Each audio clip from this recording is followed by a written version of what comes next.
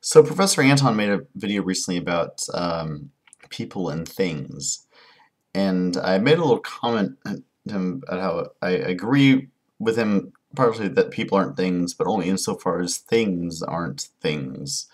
Uh, and I brought up um, the guy named Graham Harman who uh, I found out about through Matt, aka Thou or That, uh, and I've been reading him lately, and thought I'd get a little uh, further into what I had discussed uh, in that in my comments in that thread. Um, so Graham Harman is basically a sort of unorthodox Heideggerian. He he he takes Heidegger's ideas in a direction that Heidegger himself did not want to go. Um, but uh, but he is also influenced by, influenced by um, Whitehead and Latour.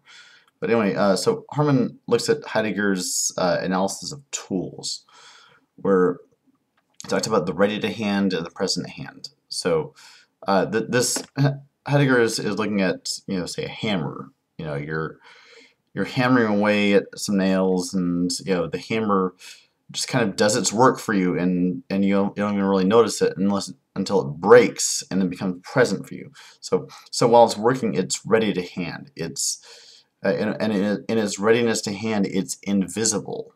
You know, you don't notice it while it while it's doing its function.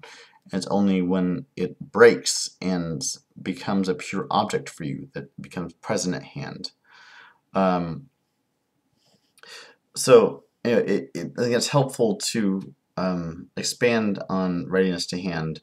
Look at all the things that are readiness, ready to hand you know this moment. So for me, I've got my computer monitor that is working. Um, you know, and, and I don't I don't know you know what what the mechanics are the the, the lids work for me, but it but it's well it's on and it's allowing me to make this video. Uh, you know, there's my my uh, webcam that is recording this right now, and uh, you know it's uh, and it exists for me in a way that, that I'm able to you know not so much notice it as much. You know, there's the chair that I'm sitting in that's supporting my weight um, and allowing me to sit here and not fall down. Uh, there's the beams and struts that are holding up this house and making sure the roof doesn't collapse on me. Um, but if, if, we can go further than uh, you know, the man-made tools, there's plants that are producing the oxygen that I'm breathing. Uh, there's the sun, which even though it's nighttime, is still warming the earth and keeping it at a reasonable temperature uh, so they don't freeze to death. You know, there's the atmosphere that not only captures some of the sun's, some of the sun's heat, but also deflects uh, certain forms of radiation uh, that make this plant habitable for me. You know, there's my own internal organs that are performing their own functions so I don't keel over and croak at any moment. So you see, it's not just man-made tools. It's you know the nat the natural world is also ready to hand for me. Um, so, and the point is, you know, these things all exist for me in a certain way. They all they enable me to be here making this video, but they're only able to do so because they first are. They have to, before they can uh, exist for me, they have to first exist.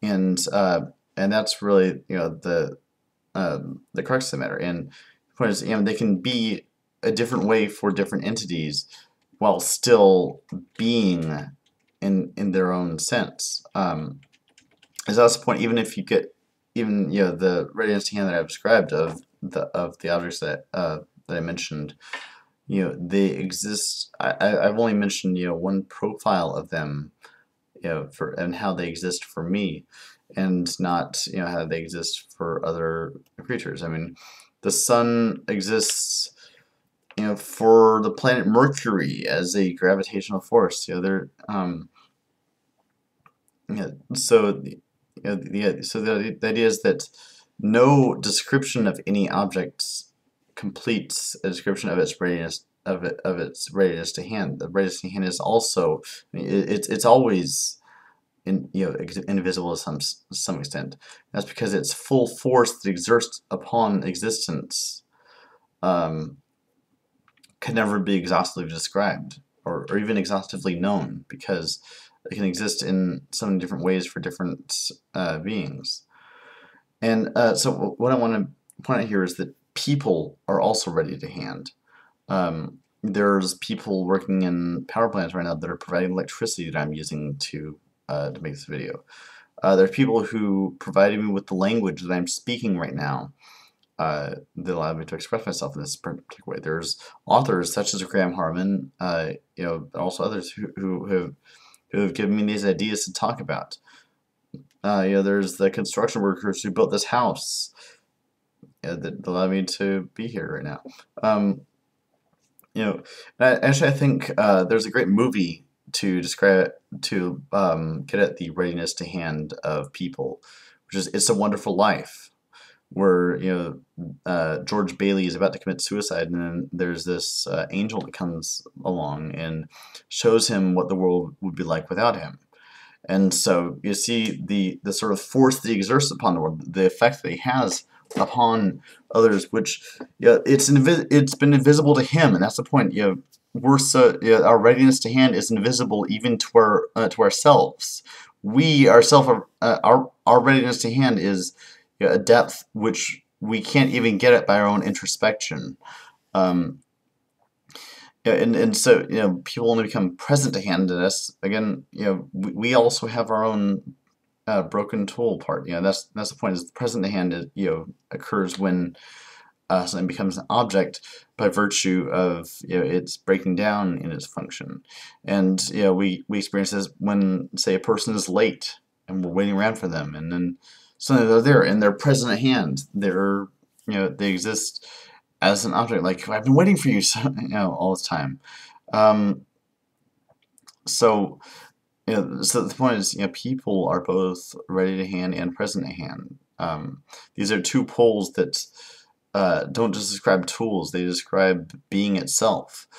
All entities in the universe are both uh, ready to hand and present hand. They're the, the all being is tool being, as Graham Harman says. But uh, if I can get a little bit further into uh, you know closing the divide between people and objects, uh, I should at this point bring up Whitehead, uh, and specifically his notion of prehension. Um, so I mean the idea with uh, with with prehension is that um, our consciousness is just a special case of a broader phenomenon known as prehension. Um, every every entity you know, exists for other entities in a particular way. So I mentioned you know the chair that I'm sitting in exi it exists for me in a certain way, and the floor exists for it in a similar way. It is a support which holds it up and ensures it doesn't you know fall through. Um, you know, it, and you know the same object can exist for different things in different ways. So a um, a window exists for a leaf that's blowing in the wind in a different way than it does for a baseball hurling toward it. Um, toward it, you know, for one, it's it's an absolute barrier. For another, it's you know, sort of a trivial, um, you know, uh, it's just a trivial obstacle. You know, and so the point is that uh, you know, consciousness is just a more complex form of this. That uh, for a conscious being like ourselves, there's just more ways that, the, that uh, our environment can exist for us. And because we're able to move in our environment, uh, we can experience more different ways of, of objects being for us. So, yeah, and that gets into the whole um, you know, embodied cognition idea that we're embodied in an environment where to move through it, it, so we have perception in action and you know that that gives us um, you know access to a wider varieties of the ways that the world can exist for us. Um, so you know what I'm what I'm saying is that uh, we can take Heidegger's uh, tool analysis, take it from you know what he may have intention uh, originally intended it as, which is sort of phenomenology of tools, and uh, get at an actual ontology of objects. Uh, and get actual, an actual external world that exists. You know, it, I mean, it's available to the senses, but it's only available to us because it first exists in itself. Its objects exert a force upon the world, uh, which, you know, which doesn't just exist for us, but exi uh, but exists for us because it exists. So, I'll leave it there for now.